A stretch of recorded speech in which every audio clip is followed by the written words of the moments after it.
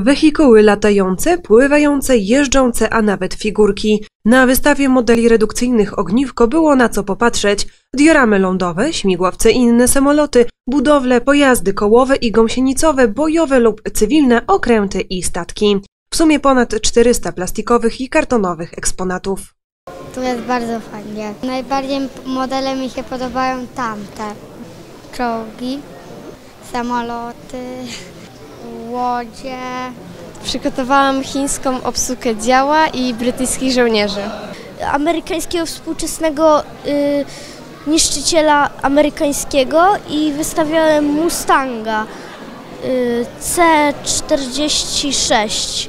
Na dzisiejszy konkurs przywiozłem 7 modeli w, e, lotniczych w skali 1,48 i 1,72. Są to samoloty z II wojny świ- światowej, jak i I wojny światowej, jak i czasy międzywojenne. Przygotowałem też jeden e, samolot e, z czasów obecnych. Jest to Mirage F1C w malowaniu e, tygrysów NATO tak zwanych z e, Tiger Met z 94 roku. Lubię składać modele, bo sprawia mi to, sprawia mi to przyjemność. Bardzo lubię historię, y, jestem dokładny, no i po prostu interesuję się tym. Trzeba cierpliwości, bo no nie każdy ma cierpliwość do takich rzeczy, czasami coś się zgubi. Po tacie to odziedziczyłem y, i w ogóle dziadek też lubił bardzo. Bardzo lubię historię i wnuczek chyba trochę po mnie odziedziczył. Podoba mi się, bardzo ich zachęcam. Zamiast siedzieć gdzieś i zbijać bąki, to niech, niech się uczą. Praktycznie, żeby zająć się modelarstwem, wystarczy model, odrobinę chęci i trochę kleju.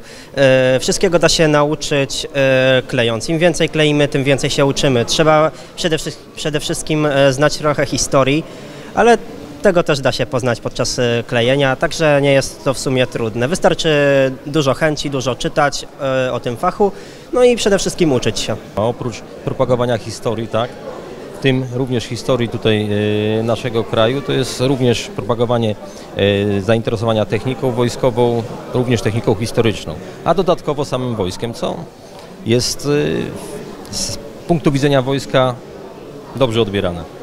14 konkurs zorganizowany został przez Koło Historyczno-Modelarskie Ogniwko, działające przy Muzeum Regionalnym w Dębicy i Zespole Szkół Ekonomicznych imienia Janusza Korczaka. Tam też rokrocznie odbywa się wystawa pokonkursowa.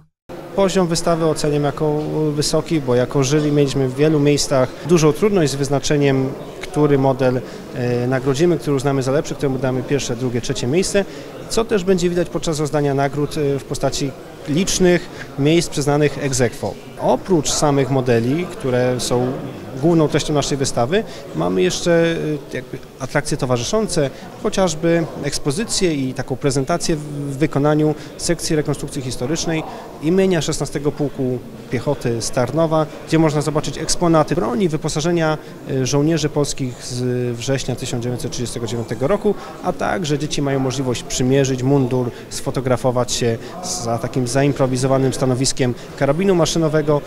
Mm, Ponadto przygotowaliśmy dla uczestników giełdę Do rywalizacji konkursowej 52 zawodników ze szkół podstawowych, gimnazjów i szkół ponadgimnazjalnych zgłosiło 220 eksponatów w miniaturze.